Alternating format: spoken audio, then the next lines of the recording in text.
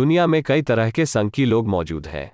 ऐसा ही एक संकी टैटू लवर है माइकल अमोये उसने अपनी पूरी बॉडी टैटू से रंग ली है। लेकिन उसके टैटू में एक खास बात है कि उसके बॉडी पर सारे टैटू सिर्फ़ कीड़े मकोड़ों के हैं।